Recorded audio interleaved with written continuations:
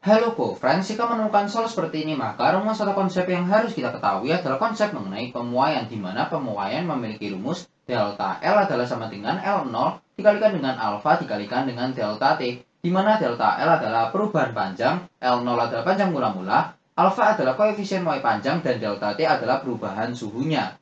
Maka kemudian yang ditanyakan di soal ini adalah perubahan panjang suatu benda akibat perubahan suhu secara langsung tidak bergantung pada maka kemudian kita cek ya untuk pilihan jawaban A yaitu bahan yang membentuk benda. Pilihan jawaban ini merupakan pilihan jawaban yang salah karena sebenarnya bahan yang membentuk benda ini mempengaruhi perubahan panjang yang terjadi. Karena bahan yang membentuk benda ini mempengaruhi nilai dari alfa atau koefisien muai dari panjangnya.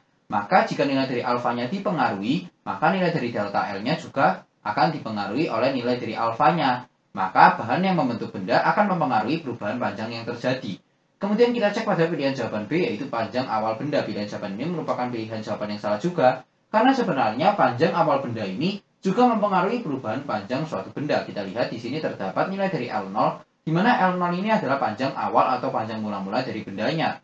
Kemudian kita cek pada pilihan jawaban C yaitu perubahan suhu. Pilihan jawaban ini juga merupakan pilihan jawaban yang salah karena perubahan suhu juga mempengaruhi nilai dari delta L atau perubahan panjangnya. Karena kita lihat di sini ada nilai dari delta T yang menyatakan perubahan suhunya.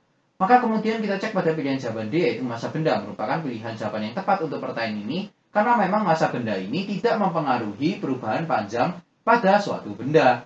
Maka pilihan jawaban yang paling tepat untuk pertanyaan ini adalah pada pilihan jawaban D. Sampai bertemu di soal-soal selanjutnya.